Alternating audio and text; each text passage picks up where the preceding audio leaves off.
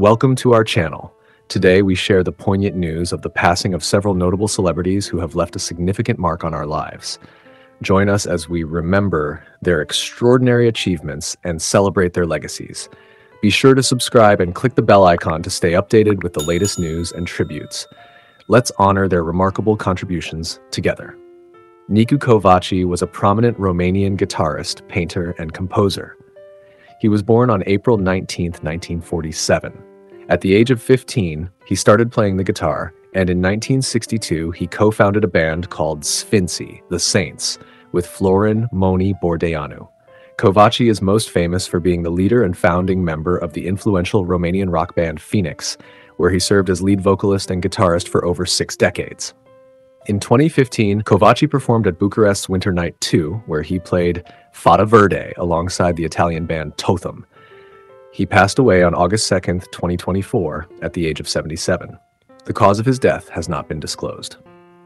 Arthur Miles was an American musician known for his work in blues, jazz, and R&B.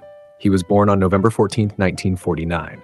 Starting at 14, he played professionally with his own bands. Throughout his career, he performed solo and supported artists like Edwin Starr, Jose Feliciano, Big Joe Turner, Johnny Otis, Eddie Vinson, and Jimmy Bo Horne.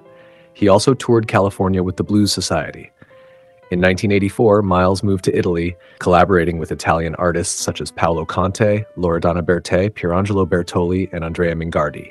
He performed at the Carnevale di Venezia and Umbria Jazz Festival and appeared on TV shows like Festival Bar, Torno Sabato, Domenica In, La Bella e la Bestia, Non Solo Moda, and Cantagiro. Miles passed away on July 31, 2024, at the age of 74. The cause of death was not disclosed. Craig Shakespeare was an English footballer and coach, born on October 26, 1963.